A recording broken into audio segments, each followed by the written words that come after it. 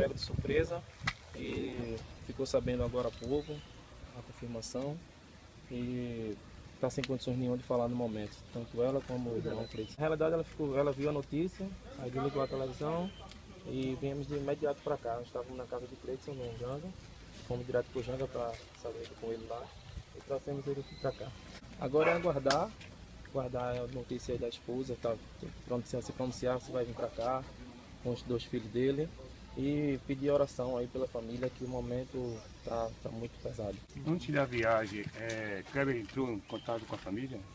Ele postou, ele fez uma, uma, postou uma foto, indo fazer história, a gente já está indo fazer história e a gente tem comunicado pelo WhatsApp, pelo grupo que a gente tem dos amigos. Como é que estava a cabeça de Kleber? Estava feliz? Estava feliz, decidido, ele, um dos melhores momentos da carreira dele aí. O clima está muito, tá muito, tá muito triste e está vindo todo mundo aí, a família, os amigos, está todo mundo vindo para aqui para casa para dar força e que o momento é muito difícil.